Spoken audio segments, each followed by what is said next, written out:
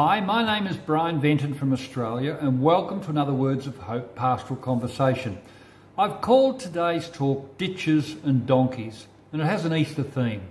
So, what does Easter mean to you? Let me springboard this chat with an Easter reading from a few verses in Matthew 21. And I was asked to read this passage at church for our Palm Sunday service last week, and I noticed something I hadn't seen before. There were two donkeys mentioned here, not one. And I got to thinking, why did Jesus need two donkeys? To start with, though, let me read excerpts from the text. Now, when they drew near to Jerusalem and came to Bethphage, to the Mount of Olives, then Jesus sent two disciples, saying to them, Go into the village in front of you, and immediately you will find a donkey tied and a colt with her. Untie them and bring them both to me.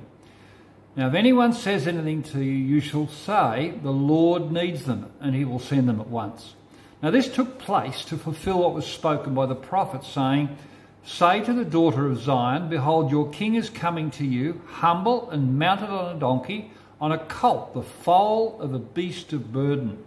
And the crowds that went before him and that followed him were shouting, Hosanna to the Son of David! Blessed is he who comes in the name of the Lord! Hosanna in the highest! And when he entered Jerusalem, the whole city was stirred up, saying, Who is this?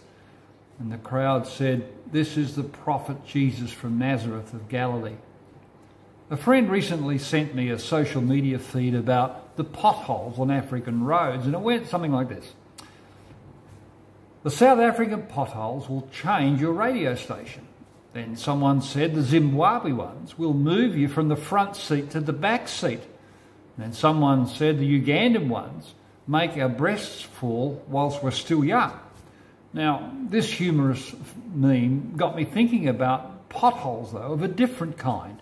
Many of us find ourselves stuck in ditches of debilitating life narratives, potholes that do us all kinds of harm where we get wounded and broken, despairing for hope and answers. But listen up here.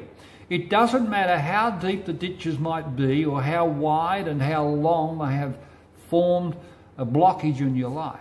When Jesus rode into Jerusalem on that young colt described here as a foal of a beast of burden, he did something that we could not do for ourselves.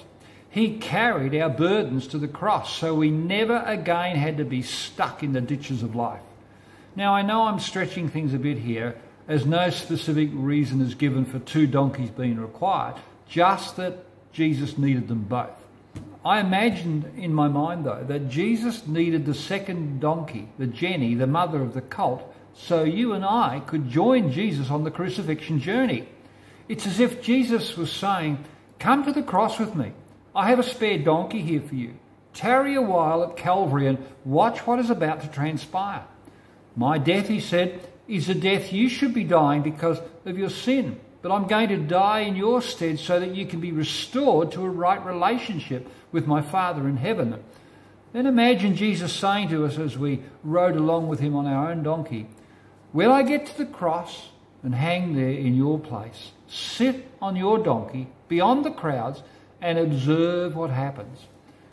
And as you sat on the jenny, you overheard the conversation of the two thieves dying alongside Jesus. And you heard one of them say, Remember me when you come again in your kingdom. And, and you heard Jesus say, Today you will be with me in paradise. And you realized that all you had to do to be saved was to believe, like the thief. There was nothing really complicated there.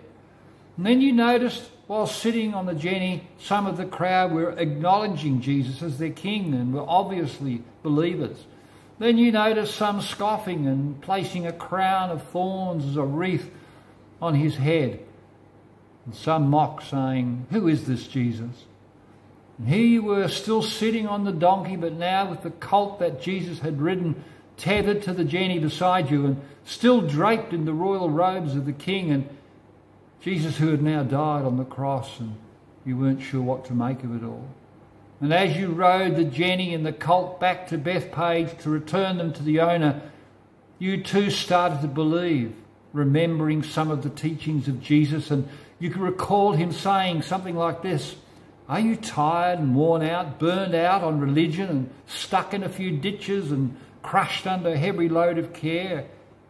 You heard, remembered that Jesus had said, Come follow me and you will recover your life. And I'll show you how to take a real rest and walk with and work with me and watch how I do stuff.